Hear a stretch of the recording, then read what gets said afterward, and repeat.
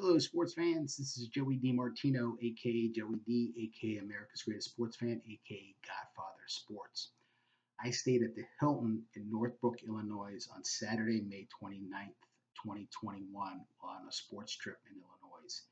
The hotel is located at 2855 North Milwaukee Avenue, Northbrook, Illinois 60062. It's at the intersection of North Milwaukee Avenue and Winkleman Road.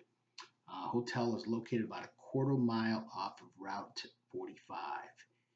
Nearby restaurants include the Players Club and Monica's Grill. Uh, the hotel is located about 10 miles north of O'Hare International Airport. Uh, parking was great, there was plenty of lighting, and it appeared to be very safe. Uh, check-in was very quick, staff was very polite and professional. The room was clean and comfortable. Because I'm a Diamond member, I was upgraded to the Presidential Suite, uh, being as being a Diamond member.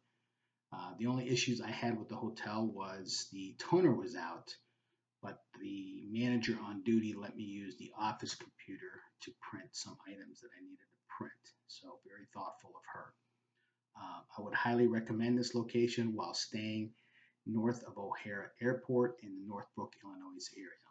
So thank you, sports fans. Have a blessed day and keep our first responders and military in your heart and prayers.